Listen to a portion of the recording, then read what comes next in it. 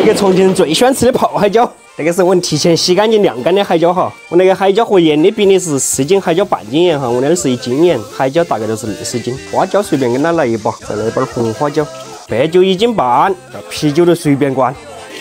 我这个比例是稍微偏淡一点点的哈，泡起出来它有一股自然的乳酸味儿。做鱼呀，做啥子泡椒类的香得很，安逸得很。直接给它装在那个坛坛里面，那个坛坛我是提前洗干净了、晾干了的呀。那个泡咸菜千万要切记，一定不能沾生水和油啊，不然你的一坛咸菜全部废了。我们把那些盐水和酒一下倒进去。好，再给它喝几瓶啤酒，直接把它整昏。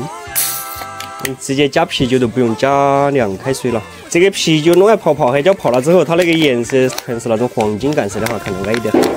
盖上盖子，掺点儿净碳水。